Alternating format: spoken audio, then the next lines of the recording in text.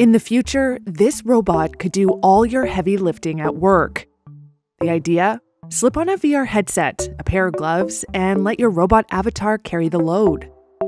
Scientists at an Italian institute say the goal is not just to make our work lives easier, but also to protect us from injury. So we think that this robot can be interested in future warehouses uh, where can carry objects and reduce the biomechanical risks of future workers.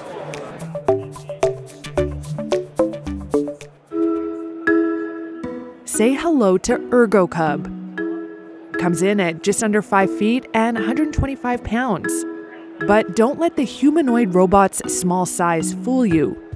It's built to take on heavy and dangerous jobs according to Giorgio Metta with the Italian Institute of Technology. The fact that it's uh, sh uh, shaped as a humanoid is to be able to work in the same space that was already designed for humans. So being able to use the tools that have been designed for, for us, press buttons, uh, operate the machines, and so forth. ErgoCub could work right next to you or be operated remotely from another country. It can sense when you want to hand something over, pick items up, and give them back too. We redesigned the fit in order to have a better impact with the environment. Daniele Pucci with the Institute says ErgoCub comes with a lot of bells and whistles.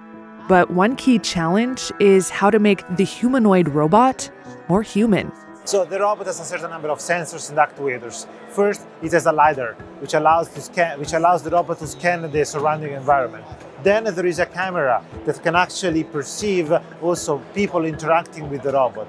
Then there is this OLED which uh, serves for making the expressions of the robot, and this is fundamental for making the robot acceptable in future work environments. We're trying to understand how the emotions of the robot have to be expressed. All this uh, makes a, a better robot along the evolution that we're planning for uh, stronger, stronger machines, more dynamics, uh, more powerful motors, because indeed we need robots to help us.